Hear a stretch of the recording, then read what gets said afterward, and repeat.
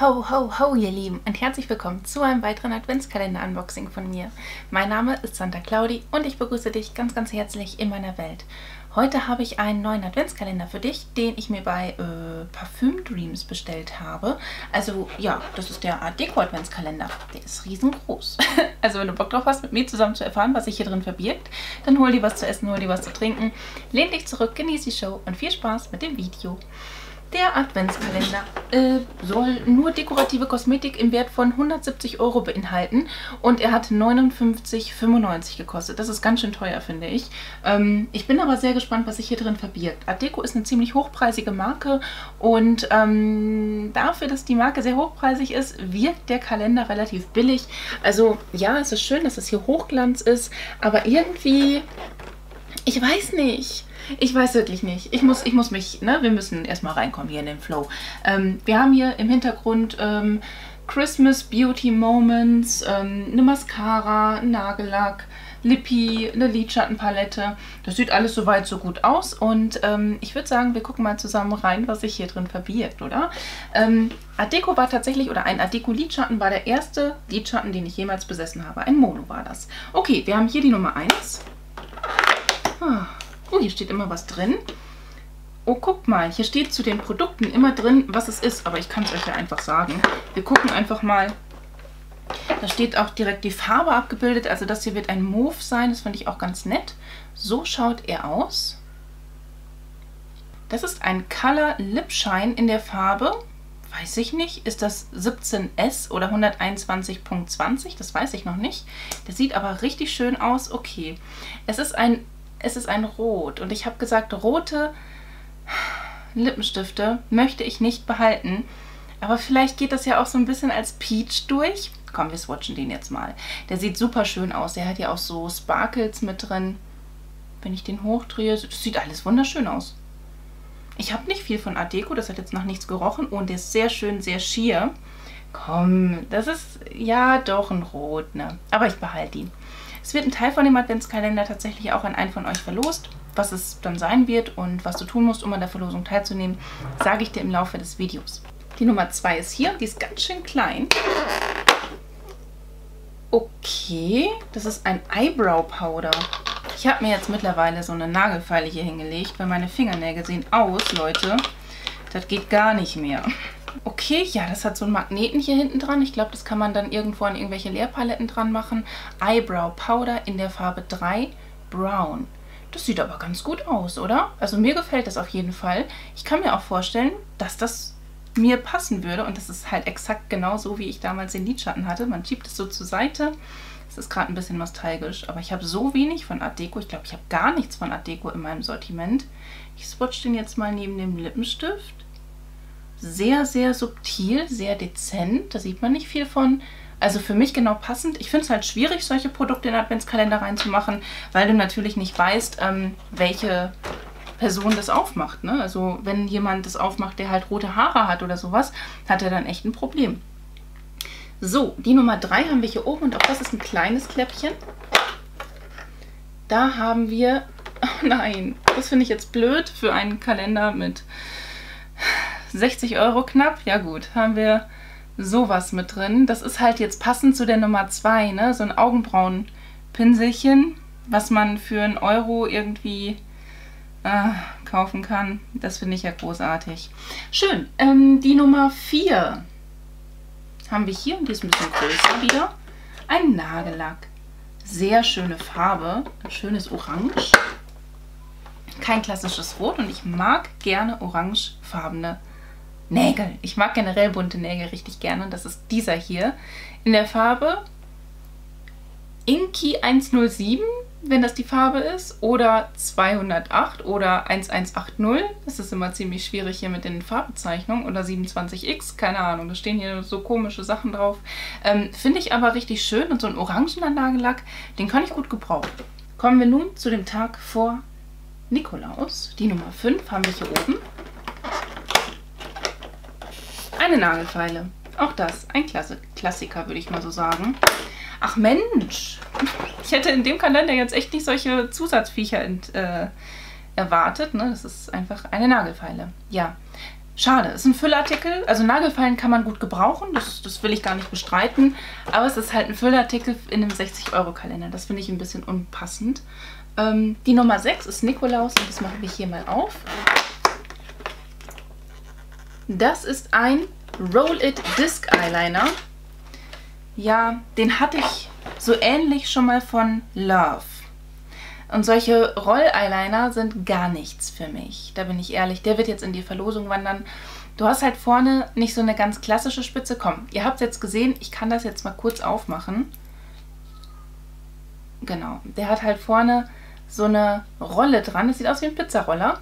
Und damit kannst du dann quasi ganz, ganz nah, das ist schön, aber ne, ich komme damit nicht klar, an deinen Wimpernkranz malen, um einen schönen Eyeliner zu malen. da fährst du richtig entlang, ist aber kein Produkt für mich, deswegen wandert der in die Verlosung. Die Nummer 7 haben wir hier. Also die Kläppchen lassen sich gut öffnen und die meisten Produkte lassen sich gut entfernen. Und bislang ist auch noch nichts verrutscht, das ist auch sehr positiv. Hier haben wir ein Full Precision Lipstick. Und auch wieder offensichtlich kein klassisches Rot-Rot. Also Rot, Rot, Rot. Ja, wobei das ist schon ein bisschen, aber egal. Ähm, das ist ein, in der Farbe 70, ein Lippenstift. Und ich glaube, das ist ein Stiftstift. Ne? Das ist hier unten auch die Farbe. Die nennt sich Nummer 70. Shy Coral. Mm. Oh, das sieht auch schön aus. Hat gar keinen Duft und es ist so ein Dreieck. Und so Korallentöne finde ich immer sehr zeitlos, immer sehr, sehr schön. Oder er ist sehr matt. Das ist eigentlich nicht so ganz meine Welt. Und er ist richtig schön knallig. Für mal kann man das auf jeden Fall haben, ne? wenn man einfach mal an einem schönen Frühlingstag oder so einen schönen Lippi haben möchte. Ist es ganz nett. So, hier haben wir die Nummer 8. Huch, ich habe es zerrissen. Das war nicht meine Intention. Mist, Mist, Mist, Mist. ja, das passiert. Äh, ein Kajal-Liner haben wir hier drin in schwarz. Und das ist einer zum Anspitzen. Jedenfalls war da auch gerade ein Spitzer abgebildet.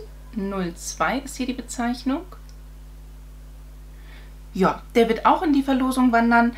Äh, nee, dann habe ich euch zwei Kajals reingelegt. Das ist auch blöd. Der wird demnächst mal verlost werden. Das ist dann auch blöd, ne? Das muss jetzt auch nicht sein.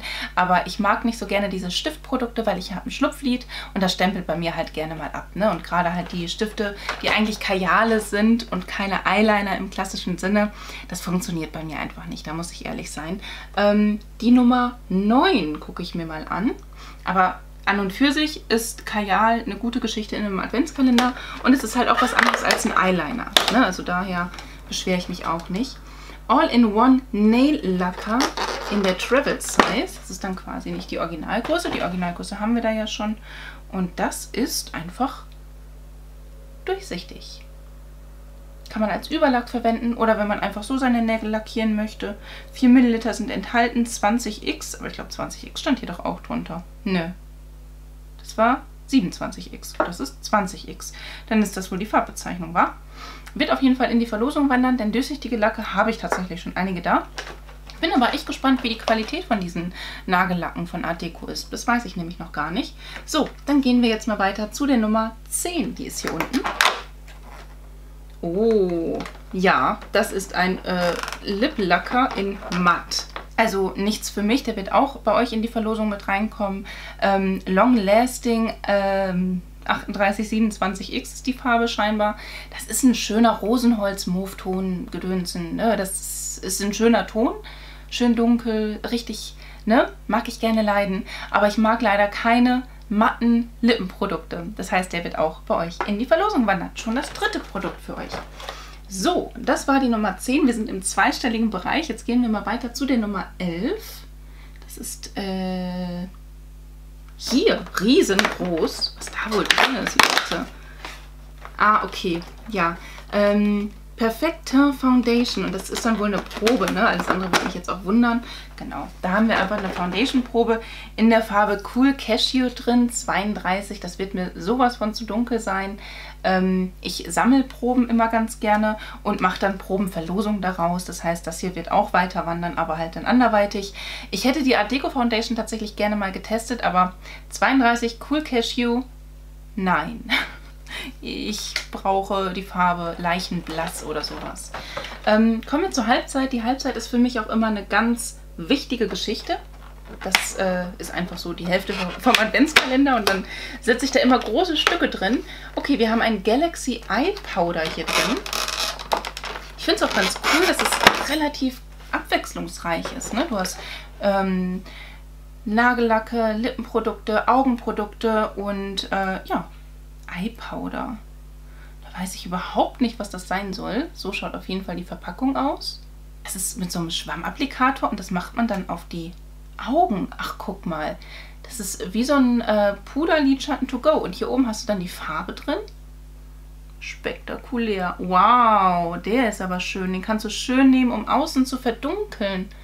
Das gefällt mir. Das ist echt hübsch. Und der schimmert auch echt wundervoll. Also der wird ausgetestet.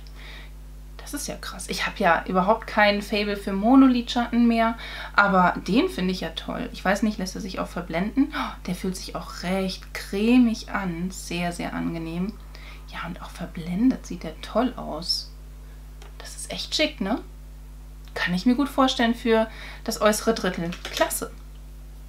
Yay! So, das war eine gute Halbzeit. Dann äh, machen wir jetzt mal weiter mit der zweiten Hälfte des Kalenders und der Nummer 13. Hier haben wir ein Color Booster Lipgloss. Ich liebe Lipglosse. Das ist echt so ein bisschen mein, ich weiß nicht, wie man das nennen soll, mein Kryptonit oder so. Ja, ich liebe Lipglosse. Äh, in der Farbe 114X. Ja, ich weiß nicht, was genau der da machen soll. Ob der dann, weil wenn der Color Booster draufsteht, dann soll der ja eigentlich die Farbe verstärken, die sich darunter verbirgt. Oh, das riecht so lecker minzig. Da ist bestimmt auch so ein Plumping-Effekt mit dabei. Ja, der ist einfach durchsichtig und ich denke, wenn du den dann halt drüber machst, dann wird das, was du auf den Lippen hast, shiny werden. Finde ich jetzt schwierig, wenn ich das hier so drauf habe, dann wird der Applikator dunkel, aber den kann ich ja sauber machen.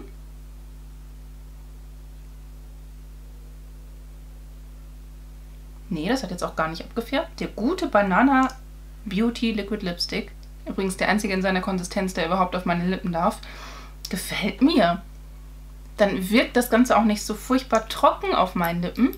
Mm. Gucken wir mal, ob das jetzt den Lippenstift abträgt. Weiß ich nicht, weil normalerweise mit Öl und sowas kannst du ja quasi die Produkte auf den Lippen dann ja lösen von Banana Beauty und Co. So, gute Nummer 13. Also dieser Adventskalender, abgesehen von diesen zwei Füllartikeln, macht mir bislang mit am meisten Spaß von allen, was ich so bislang geöffnet habe. Die Nummer 14 hier haben wir ein, ja, das ist so nostalgisch, ein Lidschatten. Und zwar ist das hier die Farbe 180 Pearly Golden Olive. Das ist dieser hier. Der kommt mit in die Verlosung, weil ich bin ja echt kein Fan von Monolidschatten, ne? Aber die von Antico sind echt cool. Mensch, das feiere ich. Ich finde es schön. Deswegen swatche ich den jetzt auch nicht. Der dürfte auch sehr, sehr ähnlich zu dem hier dann sein, ne? So, dann gucken wir uns mal die Nummer 15 an. Die ist hier ganz klein. Oh, bitte jetzt nicht irgendwie ein Lippenpinselchen oder sowas. Oh nein, ein Eyeshadow-Applikator. Mhm. Der gehört dann mit zu eurem Lidschatten. Freut ihr euch? Ich meine, steht Adeko drauf. Mit diesen kleinen Schwämmchen-Applikatoren kannst du übrigens auch wirklich, das hat mir die liebe Nicole von Unboxed Butterfly Nicole nämlich erzählt, ähm, da kannst du, oder das hat sie uns allen erzählt in dem Video, Leute, ne? sie hat ja nicht nur mit mir gesprochen. Da kannst du super Lidschatten, der so schwer aufzutragen ist, auftragen und damit auch intensivieren. Das ist dann auch so ein bisschen besser, als es mit dem Finger zu machen. Das heißt, der kommt auch zu euch mit in die Verlosung. Aber das hätten die mit den Einkläppchen zusammen machen können, oder? Meine Meinung. Gut, das war jetzt die Nummer 15. Dann suchen wir uns mal die Nummer 16. Die ist hier oben. Ein Beauty-Duo kleines Palettchen hier drin. Also die Produkte sind hier gut drin befestigt, aber nicht zu gut. Das Brow Powder war ein bisschen zu gut befestigt. Äh, Beauty Box Duo for Eyeshadows. Ach Gottchen. Gut. Da kannst du dann deine Lidschatten entsprechend reinmachen. Ich gucke mal, was da jetzt noch für Produkte drin sind, weil theoretisch wird das Brow Powder da ja auch reinpassen, wenn da jetzt noch irgendwie was anderes. Ja, das kannst du super da reinklipsen, ne? Das ist natürlich super. So eine schöne Leerpalette, ne? Ist nie weg. Nummer 17 habe ich hier unten. Äh, Stay and Shine Top Coat. Ja, richtig gut. Farbe Nummer 25. Top Coats kannst du nie genug haben, Leute. Das muss ich wirklich sagen. Und äh, das Sowas hält einfach deinen Nagellack besser, äh, macht ihn stoßfester, macht ihn einfach irgendwie glänzender. Deswegen finde ich es klasse. 10 Milliliter ist mal eine gute Größe. Ja, das dritte Nagelprodukt, aber ein gutes Nagelprodukt. Die Nummer 18 haben wir hier oben. Vielleicht auch wieder ein Nagellack von der Größe her. Nee, hier haben wir wieder eine Probe von der Eyeshadow Base. Äh. Okay, ja, das ist nett, ne? so ein Pröbchen von der Lidschattenbase mit drin zu haben. Ähm, ja, aber also ich finde so eine Probe schwierig in einem Adventskalender. Da hätten sie auch einfach irgendwie so ein kleines Pöttchen mit ein paar Millilitern hier reinpacken können. Das wäre irgendwie ein bisschen ansehnlicher gewesen. Kommt auf jeden Fall dann zu meinen Proben, die ich jetzt so habe, weil da sind halt Proben drin, die ich dann auch mal für ein Fullface-Proben verwenden möchte dann kommt das dem Ganzen vielleicht noch irgendwie zugute. Okay, das war die 18. Dann gehen wir mal zu der Nummer 19. Multistick, cremiger, multifunktionaler Stick für den perfekten Nude-Look. Aber auch unterschiedliche Lippenprodukte hier drin. Das finde ich ja abwechslungsreich. Das ist mir immer wichtig. Ihr könnt gerne auch 10 verschiedene Lippenstifte reinpacken, solange das irgendwie abwechslungsreich bleibt. Und das ist halt ein richtiger Nude-Ton in der Farbe Rosy Toffee 60 dieser hier. Und den gucke ich mir doch mal an. Ich mag ja gerne Nude-Töne, die stehen mir auch wohl. Oh ja, das ist ein ganz, ganz toller Ton. Da riecht noch nichts. Ich weiß gar nicht, ob Adeko irgendwie parfümstofffrei ist oder so. Wow, der ist richtig cremig. Das hier der untere Swatch. Mega geil. Voll meine Konsistenz, super deckend. Damit könnte ich meine Freude bekommen. Den klickst du nicht zu, den drehst du am Ende zu kommen tatsächlich hier schon zu der Nummer 20. Hier haben wir einen Nagellack. Äh, Color Base. Oh, nee. Color Base. Ich dachte schon, das wäre ein Base Coat. Das wäre natürlich cool gewesen. Ähm, das hier ist einfach so ein nudiger Ton, ein äh, Alt-Rosé, würde ich jetzt dazu sagen. 100, nein, 1100 80, 363, 430. Das mit diesen Farbbezeichnungen, das finde ich echt sehr tricky. Ähm, nicht unbedingt meine Farbe, aber ihr habt schon ein Nagelprodukt. Das heißt, es wird anderweitig weiter wandern. 21 ist hier oben, klein aber fein. Boah, wenn das jetzt auch irgendwie so ein Mini-Ding für Nägel ist, was könnte das sein? Anspitzer? Anspitzer für Nägel vor allem. Nee, hier haben wir wieder einen Lidschatten. Oh mein Gott, das ist aber eine schöne Farbe. Oh mein Gott. Da könnte ich ja fast schwach werden und sagen, ich will den haben. Aber nein, Pearly Soft Lilac ist hier die Farbe. Ultra schön. Erinnert mich auch so ein bisschen an die 1991 Palette von Alicia Marie, weil die halt auch so diese mega schönen Töne drin hatte. Und das sieht sehr, sehr ähnlich aus. 88a ist die Farbe hier. Ähm, der kommt auf jeden Fall jetzt mit in die Verlosung. Ihr habt ja schon einen Lidschatten, dann habt ihr jetzt zwei und einen Lidschatten-Applikator-Schwämmchen mit dabei. Gut, die Nummer 22 haben wir hier. Perfect Color Lipstick ist auch wieder hier die Bezeichnung. Eigentlich sollte hier übrigens was vom Bild her das Magic Fix drin sein. Ist es nicht. Das ist was ganz anderes. Haben die sich nochmal umentschieden. Kann passieren. So, äh, das ist ich weiß aber jetzt leider nicht, welche Farbe, deswegen gucke ich mir das dann doch gleich nochmal an. 1324 ist die Farbbezeichnung. Oh, der ist aber auch schön. So ein schönes, dunkles Rosenholz, Mauveton, Gedönsen. Aber der wird weiter wandern, weil ich habe ja auch schon den und der sieht dem sehr, sehr ähnlich. Der wird anderweitig weiter wandern, denn ihr habt schon ein Lippenprodukt. Ja, genau. Ich mache hier ganz viele Verlosungen, Leute. Keine Sorge. Nummer 23, der Tag vor Heiligabend. Oh mein Gott, sind wir hier schnell. Hier haben wir... Oh, ein Lip Liner offensichtlich, oder? Soft Lip Liner. Ich liebe Lip Liner. Lip Liner sind... Also, was heißt ich liebe Lip Liner? Ich habe gelernt, sie zu lieben.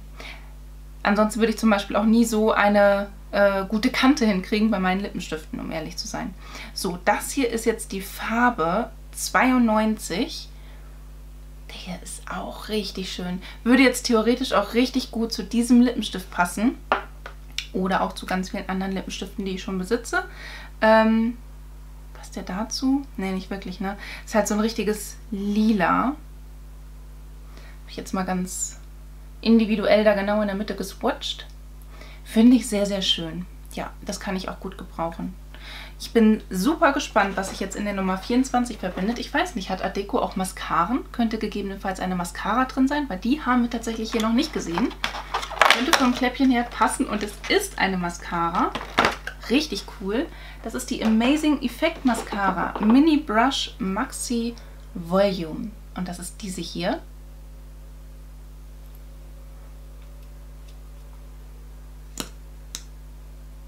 Oh ja, die hat ein Gummibürstchen, was so ausschaut. Das ist halt sehr gerade. Da bin ich ja echt gespannt, wie die performen wird. Ne? Die werde ich auf jeden Fall austesten. Äh, müffelt ein bisschen, um ehrlich zu sein. Ja, das war jetzt tatsächlich, ups, der äh, Art Deco Adventskalender.